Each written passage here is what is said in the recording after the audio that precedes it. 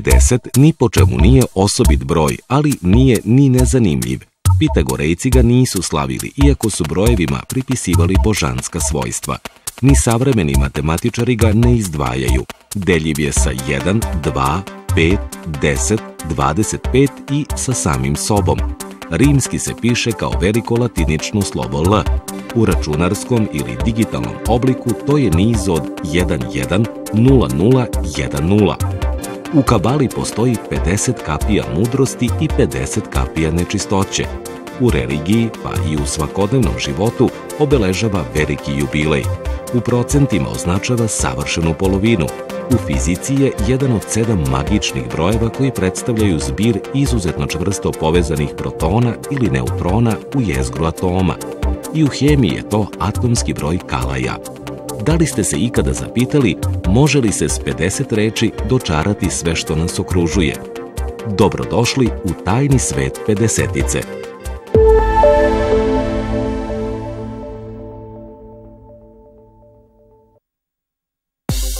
Profesor dr. Dejan Stojković je američki naučnik srpskog porekla poznat po istraživanjima u oblasti kosmologije, gravitacije i fizike elementarnih čestica. Njegovih 50 naučnih radova o višedimenzionalnim svetovima imaju izuzetnu citiranost, koja daleko prevazilazi i okvire evropske nauke. Veliku pažnju privukla su njegova istraživanja o mini crnim rupama – koja su bila izuzetno aktuelna prilikom pokretanja velikog sudarača hadrona u CERNu. Zajedno sa saradnicima sa Državnog univerziteta Njujorka u Buffalo, upravo je dr. Stojković odgovorio na pitanje da li nas kakvom greškom CERNA može progutati crna rupa. Jedan od njegovih najznačajnijih i vrlo citiranih radova je kvantna radijacija iz petodimenzionalnih rotirajućih crnih rupa.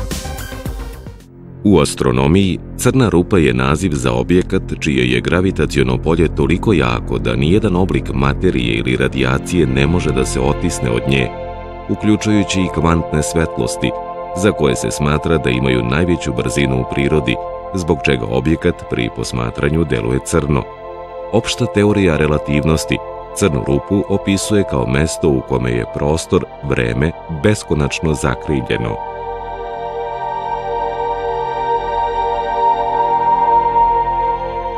Da li postoji crna rupa blizu sunčevog sistema, gospodine Stojkoviću?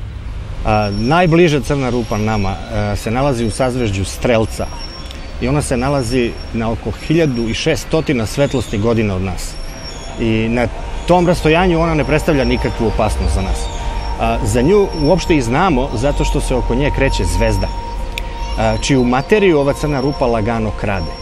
I kako se ta materija ubrzava, jedan trenutak pre nego što propadne u crnu rupu, ona se ubrzava do brzine svetlosti.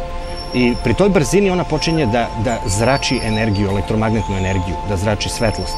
Tako i znamo da se ta crna rupa nalazi tamo zbog tog sekundarnog, indirektnog zračenja iz okoline crne rupe.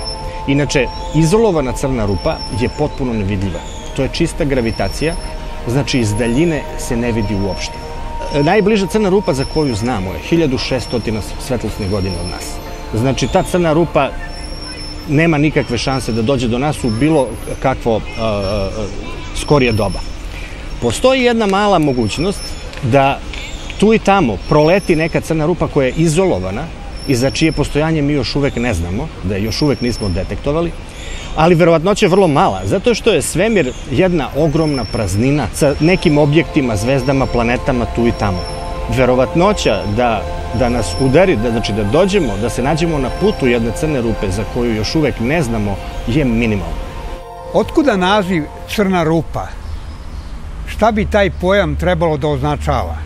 Prvobitni naziv je bio e, tamna zvezda i e, e, Laplace još u 18. veku je dao ime tamna zvezda objektima čija je druga kosmička brzina veća od brzine svetlosti. Znači, to su objekti koje čak ni svetlost ne može da napusti. Ali termin crna rupa je mnogo skorijeg doba.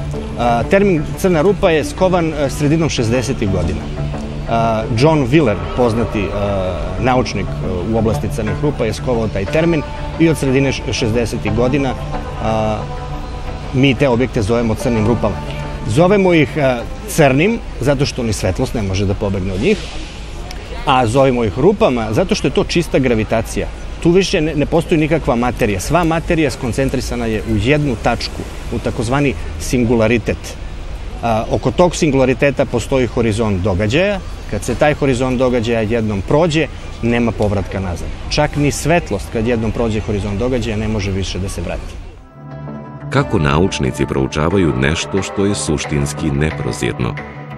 Pa direktno je nemoguće, ali indirektno je moguće. A, najjednostavniji način, recimo, da, da izmerimo masu crne rupe je da proučavamo orbite zvezda koje se kreću oko crne rupe. A, tako smo, recimo, otkrili da je u centru naše galaksije jedna ogromna crna rupa, reda veličine nekoliko miliona sunčevih masa, tako što smo proučavali orbite zvezda koje se kreću oko centra naše galaksije. A druga stvar je ona koju sam pomenuo na početku. Crna rupa usisava sve što je u njenom domenu gravitacije. Kako se ta materija približava horizontu događaja, ubrzava se sve više i više i počinje da zrači i prema tom indirektnom zračenju koje mi detektujemo iz daljine možemo da zaključimo koje su osobine te crne rupe koje je u centru. Recimo možemo zaključimo da li ta crna rupa rotira ili ne. Možemo da izmerimo osu rotacije te crne rupe. Znači, to zračenje, sekundarno zračenje, u mnogome zavisi od karakteristika te crne rupe. Tako, indirektno možemo nešto zaključiti o crnim rupama, mada direktno je to nemoguće. Zar to nije najneshvatljivija pojava u kosmosu, čije je ishodište u jednačinama Alberta Einsteina? Naravno, ja, ja bih se složio s tom konstatacijom. A, samo rešenje za crne rupe je pronašao Schwarzschild, a, nemački naučnik, 1916. godine, samo godinu dana nakon a, a, što je Einstein objavio svoje jednačine opšte teorije relativiteta. Znači, rešenje postoji od 1916 ali bilo je potrebno 50 godina naučnicima, fizičarima, da prihvate da to rešenje u stvari a, opisuje neki objekt koji se stvarno može naći u prirodi. Znači to rešenje je bilo toliko čudno, toliko a, je prkosilo našem zdravom razumu da su naučnici 50 godina odbijali da prihvate da to rešenje ima išta sa prirodom. Moje kolege, starije kolege, su mi pričale da, da je tu, znači sredinom 60. godina, čak i početkom 70. godina, bilo vrlo rizično a, a, uopšte raditi, pisati radove o crnim rupama, jer se ta tema smatrala vrlo spekulativnom i ne baš naučnom. A danas poznato je da, ove, da, da naši najveći naučnici se bave upravo tom temom. Strepite li da nakratko najsićušnija crna rupa iskrsne u CERNu, Da li bi ona progutala zemlju kako neki upozoravaju?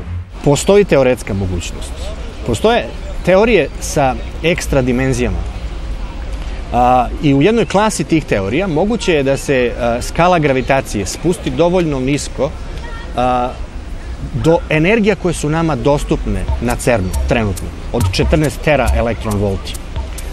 U toj klasi teorija moguće je napraviti crnu rupu na LHC-u. LHC je taj akcelerator na, na CERN-u.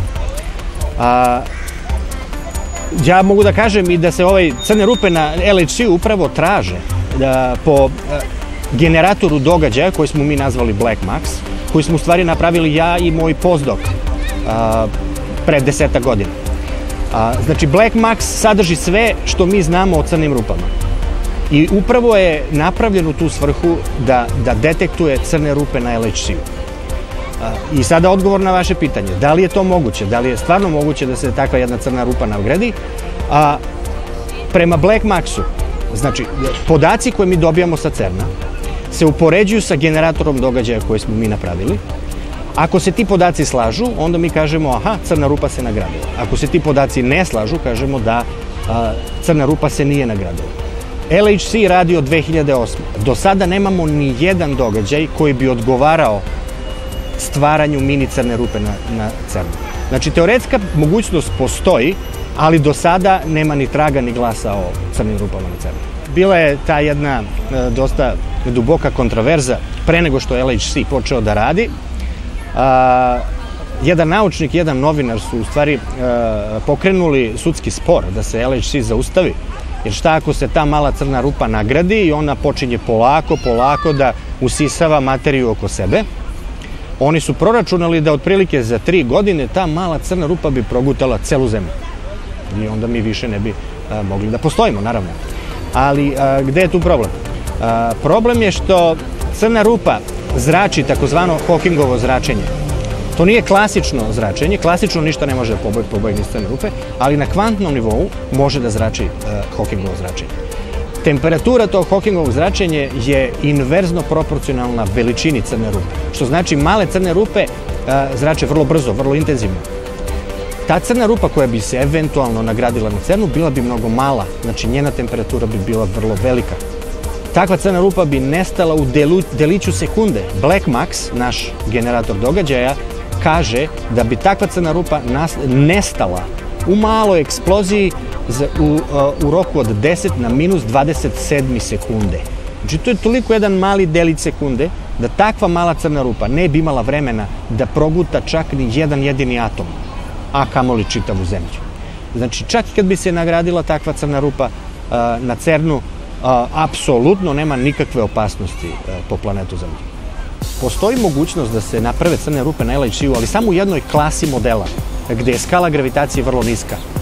U standardnoj gravitaciji, onako kako je Einstein uh, formulisao, skala gravitacije je vrlo visoka i LHC na CERN-u nema dovoljno energije da dostigne tu skalu gravitacije. A, što znači da sa sadašnjom tehnologijom mi nemamo šanse da napravimo mini crnu rupu na planeti Zemlji u okviru standardne gravitacije. A u ostalom, e, kosmički zraci koji e, bombarduju Zemlju e, svakog trenutka, čak i sada dok pričamo, imaju mnogo veću energiju. LHC ima energiju od 14 tera elektron volta. Kosmički zraci imaju energiju od 100 tera elektron i više, 1000 tera elektron. Znači, kosmički zraci su mnogo moćniji nego naši akceleratori na Zemlji. Ako kosmički zraci nisu do sada napravili crnu rupu, koja bi se proširila i uništila zemlju u poslednjih 4 milijarde godina, onda nećemo ni mi e, na LHC. A inače, ako, znači ako ova klasa modela sa niskom gravitacijom nije tačna, znači ako je standardna Einsteinova a, teorija gravitacije tačna, a, napraviti crnu rupu sa sadašnjom tehnologijom, a, zato nam je potreban akcelerator veliki kao čitav univerzum. Znači, ili da napravimo akcelerator kao čitav univerzum, što je naravno nemoguće, ili da popravimo našu tehnologiju drastično, što je opet nemoguće u kraćem vremenskom intervalu. Šta bi se dogodilo kosmonautu i letelici koji bi prošli kroz crnu rupu? Opet prema standardnoj teoriji nemoguće je proleteti kroz crnu rupu. Kad svemirski brod prođe kroz horizont događaja, on više ne može da izađe napolje. U sredini crne rupe u centru se nalazi singularitet. Tu je krivina prostor vremena beskonačna, gustina materije beskonačna i gravitacijona sila je beskonačna. Što znači kad bi se taj svemirski brod približio singularitetu, centru crne rupe, on bi jednostavno bio pokidan na atome i potpuno uništen. Ali a, a, postoje, postoji bar teoretska mogućnost da se taj singularitet u centru zameni topološki netrivialnom a, a, kosmičkom crvotočinom, wormhole.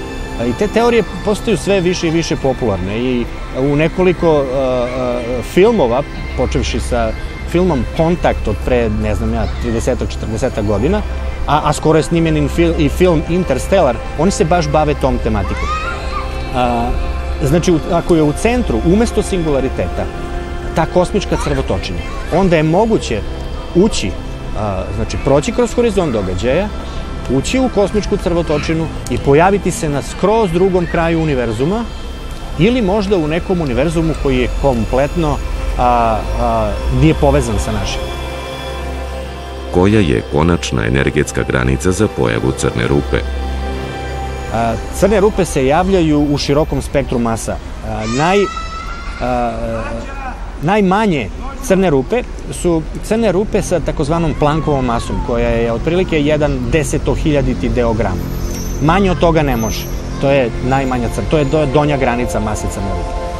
Gornja granica crne rupe, najmasivnija crna rupa koju smo ikada otkrili ima 20 milijardi sunčevih masa. centri skoro svih galaksija koje danas znamo sadrže po jednu masivnu crnu rupu. To su te supermasivne crne rupe, ogromne crne rupe. Naš, naša sobstvena galaksija Mlečni put ima crnu rupu od eh, nekoliko miliona sunčevih masa, ali postoji galaksije sa crnim rupama reda veličine milijardi sunčevih masa. Znači, raspon masa crnih rupa ide od jednog desetohiljaditog dela grama do 20 milijardi sunčevih masa. Verujete li u pretpostavku da kosmos nestaje u crnim rupama i iznova iz njih nastaje? To pitanje je povezano sa, sa onim prethodnim. Znači, opet, ako je u centru crna rup, crne rupe singularitet, onda tu sve prestaje. Tu se uništavaju sve strukture i tu prestaju čak da važi zakoni fizike. Ali, ako se taj singularitet zameni a, topološki netrivialnim rešenjem, onda je moguće da kolaps jednog univerzuma a, je u stvari samo rađanje drugog univerzuma. U tom smislu da, moguće je. Ne postoje li crne rupe od samog začetka kosmosa? Koliko su primordijalne stare? Te primordijalne crne rupe, one su nastale u vrlo ranom svemiru, zbog velikih fluktuacija u gustini energije. A, njihova masa može da bude kao što sam napomenuo, znači minimalna masa 10 na minus 5 grama ili 1 desetohiljaditi deo grama, ali može da bude da, da primordijalne crne rupe mogu da, da, da rastu čak do jedne sunčeve mase. Ali još uvek to, to su vrlo male crne rupe u odnosu na, na one maksimalne crne rupe koje mogu da se kreću do nekoliko milijardi a, sunčevih masa. I, te, I one su stare, naravno, 14 milijardi godina, jer toliko je star naš univerzum. Znači, postoje crne rupe od samog rođenja našeg univerzuma. Kako će izgledati doba crnih rupa prema zamisli Freda Adamsa i Grega Lochlina? Zanimljivo je da uh, Fred Adams je naše gore list, uh, njemu je baka Srpkinja. I on je moj naučni saradnik, uh, mi smo pisali radove zajedno.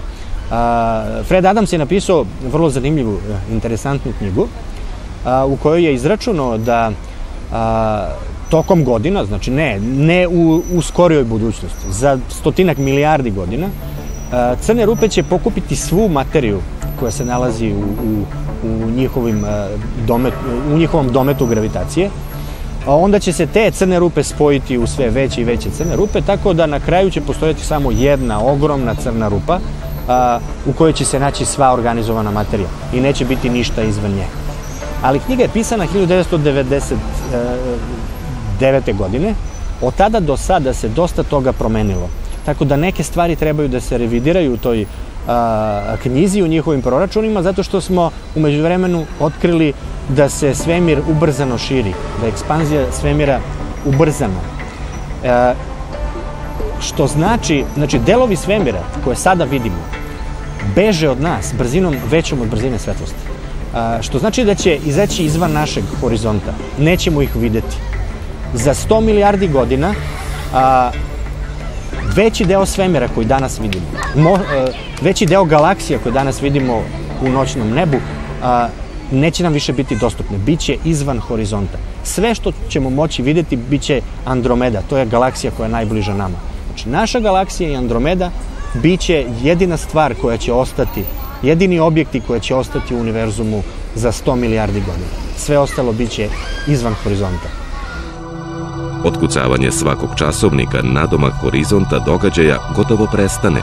Kakva ga to sila zaustavi? Gravitacija. A, šta je časovnik?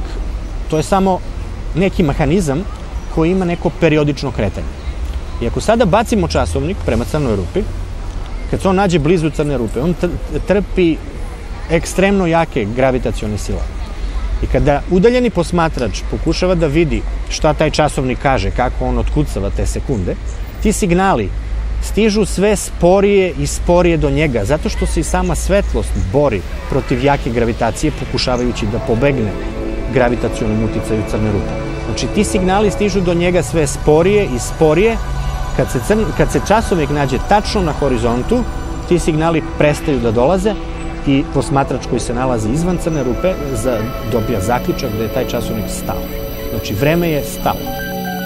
Da li napokon crne rupe isparavaju, što je priznao Stephen Hawking? Da, Stephen Hawking je iznenadio ceo svet 1974. godine kad je izračunao da u stvari crne rupe mogu da isparavaju.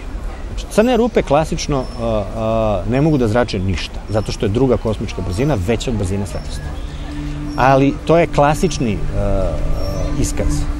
Ako uključimo kvantnu mehaniku, postoje mali, vrlo slabi kvantni efekti koji mogu da utiču na to da, da čestice iz okoline crne rupe mogu da budu ekscitovane i da pobegnu uticaju crne rupe. Ali to kvantno zračenje je toliko niskog intenziteta da je potreban ogroman broj godina da, da bi crna rupa u potpunosti insparila i, i, i nestala. Crna rupa reda veličine sunčeve mase. Recimo, Hawkingova temperatura crne rupe reda veličine sunčeve mase je skoro ravna apsolutnoj nuli. Na toj temperaturi potreban je vremenski inter, interval koji je duži od čitavog veka vasione da bi takva crna rupa nestala. Zašto je u crnoj rupi gustina materije beskonačno veća od ma kojeg zamislivog broja? Zato što je gustina masa podeljena zapremeno. Sva masa crne rupe je skoncentrisana u jednoj jedinoj tački, tački singulariteta a, pošto ta tačka ima nultu zapreminu, bilo koja konačna masa podeljena tom nultom zapremenom daje beskonačan broj. Zato je i gustina beskonačna. Može li se od crnih rupa sastaviti superkompjuter? Klasično ne, ali postoje e, neki pokušaj e, da se horizont događaja crne rupe interpretira kao kvantni kompjuter koji može da procesira informacije mnogo brže nego bilo kakav klasični kompjuter. To je još uvek naravno u domenu spekulacije, ali ako bi se to eksperimentalno potvrdilo, što ne znam da li uopšte može u skoroj budućnosti, onda bi to bio neverovatan prodor u, u, na polju kompjutera i kvantne, kvantnih kompjutera i informatike. Hoće li zauvek biti crnih rupa, čak i u poslednjem razdoblju kosmosa? A, neće upravo zbog Hawkingovog zračenja. Znači, koliko god da je to Hawkingovo zračenje niskog intenziteta, ako mu date dovoljno vremena, date mu 100 milijardi godina, a, onda će to zračenje da, da uništi čak i, i najveću crnu rupu. Znači, čak i one crne rupe iz a, knjige a, Freda Adamsa i Lochlina, čak i te ogromne crne rupe mogu da opstanu neverovatno dugo, ali ne mogu da opstanu beskonačno dugo. Eventualno i one će nestati u Hawkingovom zračenju. Nedeljnik Time objavio je da će 2045. ljudi postati besmrtni. Verujete li u to? Ljudski život se napretkom tehnologije može produžiti dosta dugo, ali ne beskonačno dugo. Jer na kraju se moramo sudariti sa zakonima fizike. E, drugi zakon termodinamike kaže da neuređenost u sistemu uvek mora da raste. Tako da svi uređeni sistemi, kao što je to ljudski organizam, na kraju moraju da budu dezintegrisani. Ta dezintegracija se može usporiti, ali se ne može potpuno zaustaviti. Ne bar prema zakonima fizike koje danas poznate.